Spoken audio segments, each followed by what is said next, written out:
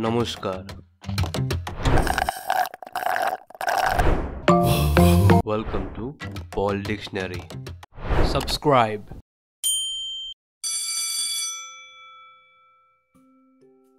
तो जनाब किसी ने कमेंट में पूछा कि वाइल्ड फाउल का क्या मतलब होता है?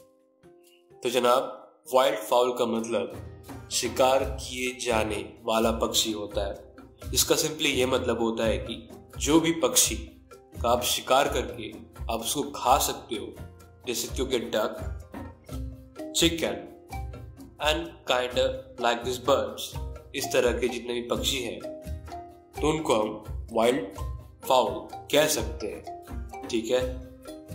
एक रेफरेंस के लिए मैंने एक पिक्चर दे दिया है, आप देख सकते